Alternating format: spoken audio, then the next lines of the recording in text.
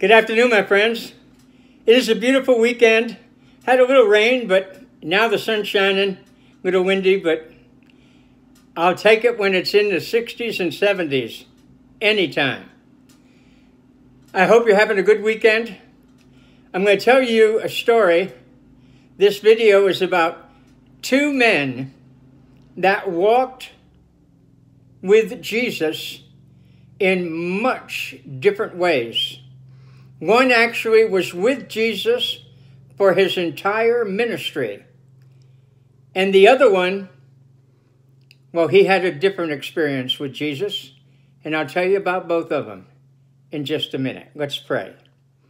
Heavenly Father, we thank you for this time together where we can discuss these two people that were with your son Jesus when he was walking the face of the earth doing his, his bidding, doing his work, doing his teaching.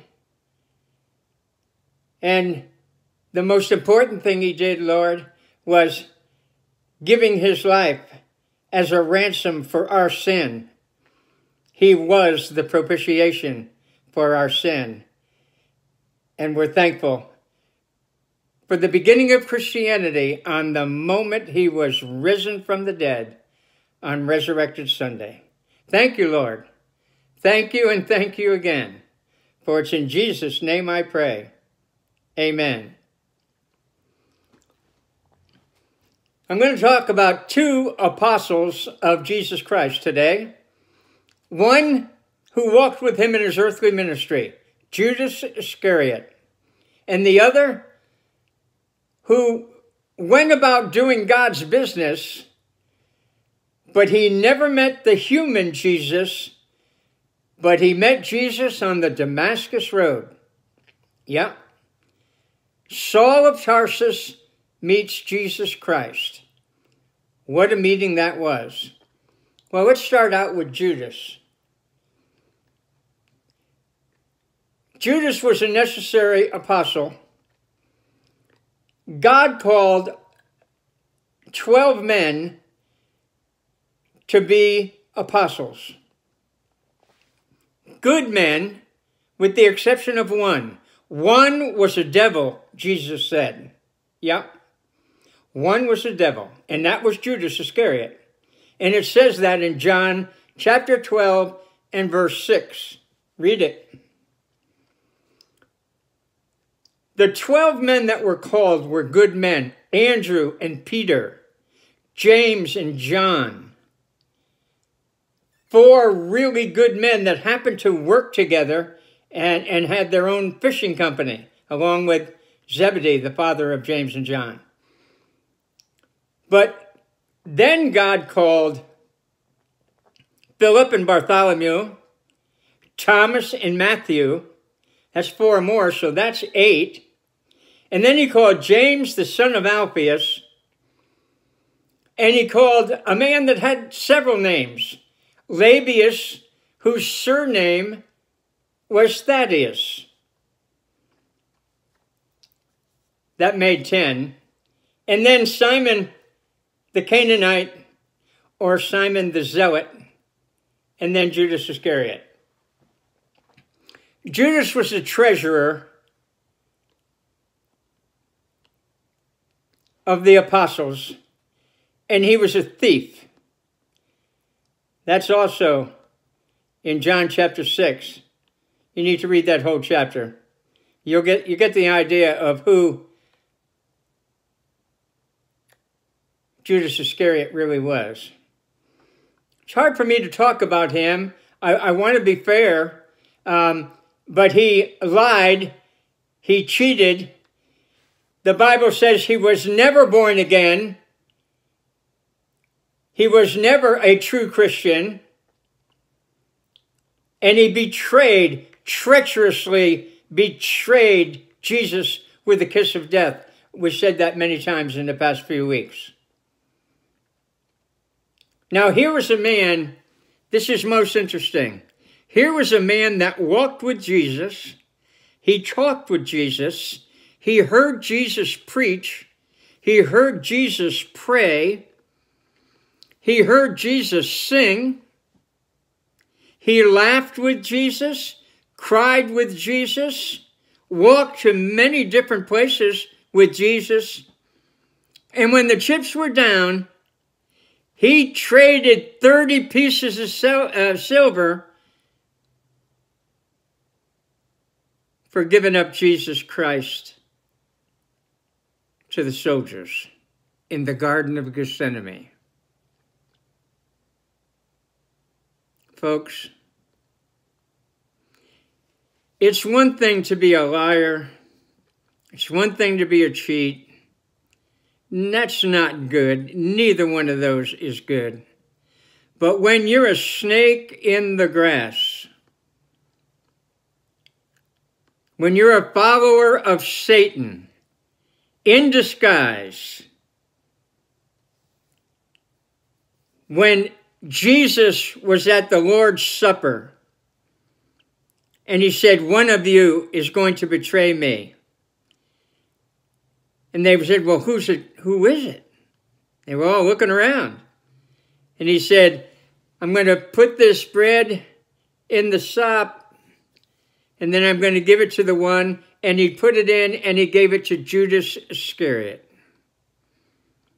And he told him, Go and do what you need to do quickly. And Judas Iscariot left the Lord's Supper.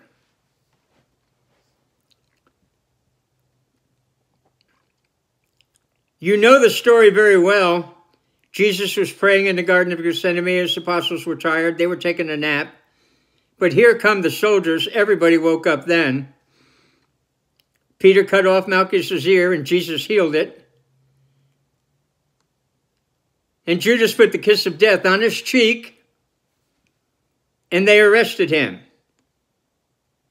Now, when Judas realized the full impact of what he had done, he took the 30 pieces of silver and went back and he threw it at the people that gave it to him. And he said, You're going to murder an innocent man. And then, if, instead of asking forgiveness and re- being repenting of his sin, he went out and hanged himself. He hung from a tree until his body finally fell down and then his bowels spilled out in a field that was bought with the 30 pieces of silver that he got for betraying Jesus Christ, the living Son of God, our Lord and Savior.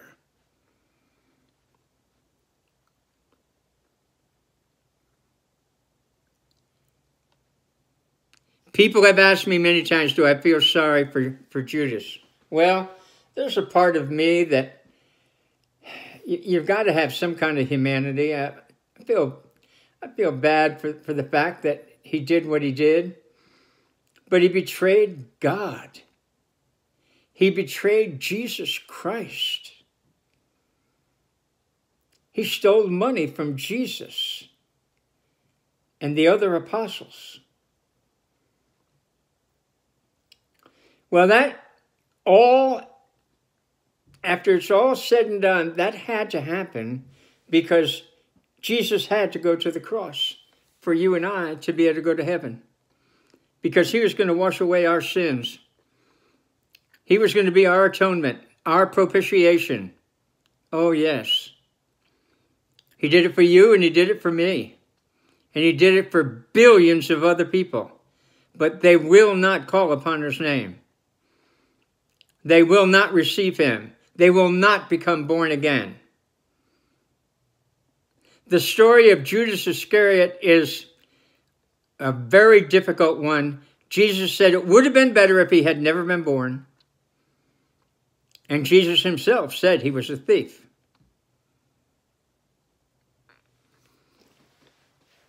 Now let's go to Saul of Tarsus. Saul of Tarsus learned from the very best minds that the Pharisees had at, at the time he was a young man.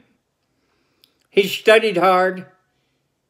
and he was a ruthless proponent against Christianity. Saul of Tarsus went after Christians. He hated Jesus and he hated all Christians. He was there when Stephen was martyred. He watched that. Here we have Judas Iscariot starting out seemingly pretty good. The apostles kind of liked him. And it looked like he was doing a good job. And he was a snake in the grass. On the other hand, Paul started out hating Christ. Said it right out loud. He said, I'll get papers and I'll arrest you, Christians, and I'll put you in jail, and I hope they murder you in prison.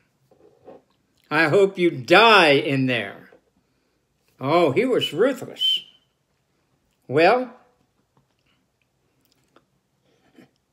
God has a way of choosing some strange people to become apostles. But on the Damascus Road, with papers in hand, Saul of Tarsus was going to go and he was going to get some Christians in Damascus. But he never made it there as Saul of Tarsus because on the way he came face to face with Jesus Christ. A bright light shone all around him. Those that were with him, they could hear something going on, but they couldn't see it. He said, Lord, who are you? And he said, I'm Jesus, the one you persecute. And he made Saul of Tarsus, who was going to become Paul the Apostle, blind. He went to town to a street called Straight. And one of God's people, Ananias, was going to go and lay hands. Even though he didn't want to, he was going to lay hands on Saul of Tarsus, and he became the Apostle Paul. He became filled with the Holy Spirit, and the Holy Spirit took him out into the Arabian desert for three years and taught him the gospel of grace and the things that he need to, needed to know. And Jesus made it clear to him, You will suffer for what you've done. And he did. Shipwrecked, snake bit, beaten, beaten, and beaten again, whipped, flogged, punched. They spit on him. They kicked him. He had a tough life. But I'll tell you one thing about Paul the Apostle he was tough. He went on several missionary journeys and he told the story. He worked with Barnabas, he worked with Timothy and Titus, he worked with John Mark, he worked with Silas. The great story about the Philippian jailer, that was Paul and Silas. Sirs, what must I do to be saved? Believe on the Lord Jesus Christ, and thou shalt be saved, and thy house.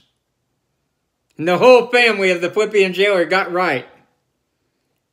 Yeah, that was the kind of ministry Paul was going to have. Wow. In 60, I believe it is 66 and 67 AD, both Peter and Paul died for Jesus. Paul, history tells us, was beheaded. And Peter was crucified on an upside down cross. Judas Iscariot, a snake in the grass. Saul of Tarsus, seemingly a snake in the grass, turned Apostle Paul, wrote 13 books in the New Testament, taught about love, taught about light, taught about everything good coming from Jesus. He taught us about the rapture. He taught us about the second coming. Yeah. Yep, he was much like John in regards to prophecy. He knew prophecy very well and so did John.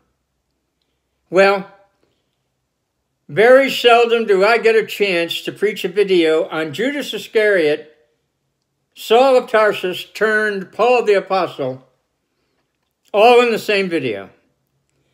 Uh, the video world is great. About the middle of this week, we're going to continue with the life of Christ. And I'm going to give you, I've given you an introduction to the people in the New Testament. On Wednesday of this next week, I'll give you an introduction to the life of Christ. And then we're going to break it down. And if it takes a long time, it takes a long time. But we're going to study each individual thing that he did. So that when you get through, you'll have it all on video. You can watch it anytime you want to and it'll be there for you. God is good, God is great, and God is eternal, and He loves you. Have you ever been a snake in the grass? Have you ever been somebody that shows themselves on the outside to be a man or a woman of God, but the inside's not right? You know, there's a lot of people like that. And you can change that in a heartbeat, in a blink of the eye, in a snap of the fingers. You can get on your knees and say, Jesus, turn me around. I want to be your Lord, or I want to be your, your in your family of God. I want you to be my Lord and Savior. Please come into my heart. You do that, and he will come into your heart. Take it from an old man that stutters sometimes. Take it from an old man that's been through the, the been through it all, and then some. Jesus. He is the answer. There's no one else that can help you for eternity. God the Father, God the Son, Jesus, and God, the sweet Holy Spirit. Thank you, Lord. Thank you. Let us pray. We're so thankful, Lord, that we can come to you in prayer, and we're thankful for the video on Judas and Paul. We're thankful for the things we learned, things we discussed, the things we were reminded of. Lord, help us to walk the true path. Help us not to be snakes in the grass, saying one thing one day and another another day. No, help us not to do that, Lord. Keep us on the straight and narrow path, and we'll give you the praise and the glory and the honor you so richly deserve as we pray in Jesus' name. Amen. You have a wonderful Lord's Day. Praise God in church, and I'll see you on Monday, God willing. Bye bye.